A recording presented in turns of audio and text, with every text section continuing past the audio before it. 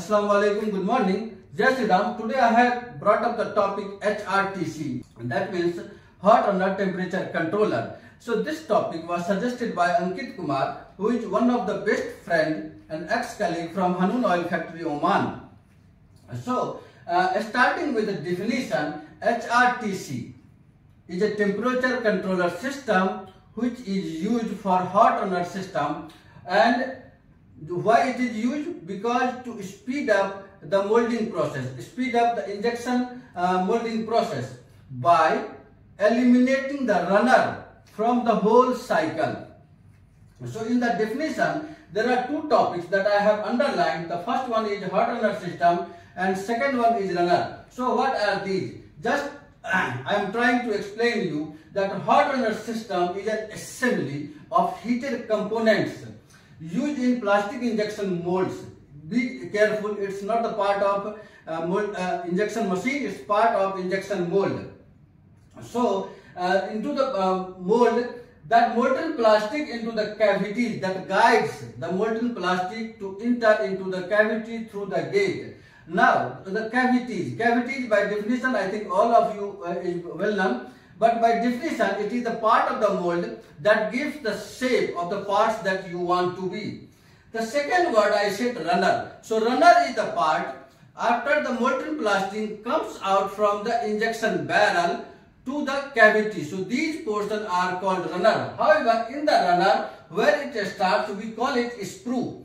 And uh, the runner, that means the branches start, so this portion called sprue bush.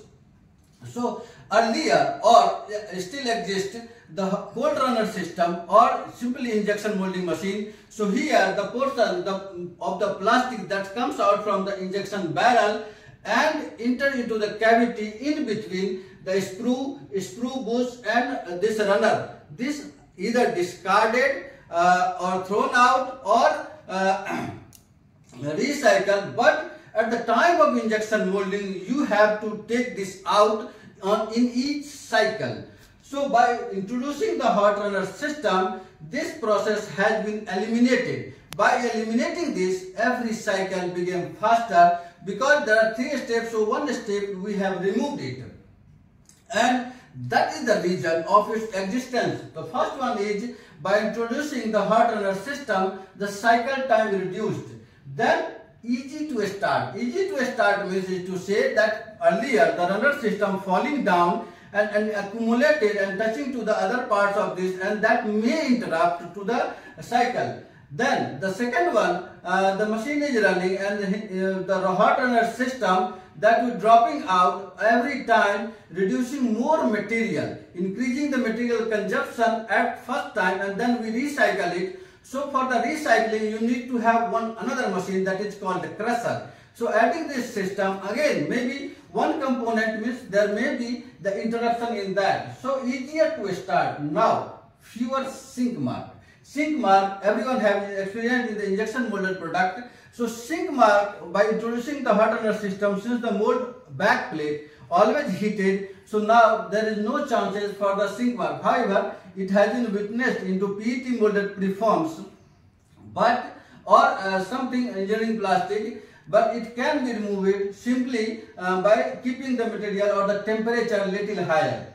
Then design flexibility. Design flexibility earlier in the cavity you have to keep the gate uh, just uh, startup of the cavity because if the material, if you put side, the gate will be in the side, in that case, the flow of the material will not be constant. But now introducing, since all the areas are heated, the molten plastics are coming up to the cavity. So in that stage, you can allocate the cavity, uh, the gate portion anywhere where you like in the throughout the parts.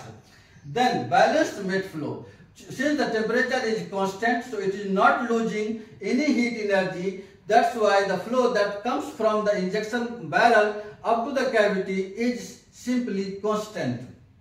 So these are the reason uh, for its use, for its existence, which has reduced the cycle time. That's why now uh, every company uh, making the injection molding machine, they must keep hot runner system But in the process, in the system, yeah, one thing I just want to remind, then when we are the student of the engineering college and then engineering college, polytechnics or ITI, these institutions always keeping the cold runner machine and that portion, that the uh, runner system were not reused. So that runner was the wastage for the institution. But now by introducing the hot runner system, these parts not required, the nothing being discarded, so significantly uh, reduce the wastage. So other than this, you may have something to say, please comment in this and I will respond it uh, as soon as possible. That's all. Thank you very much. Bye for uh,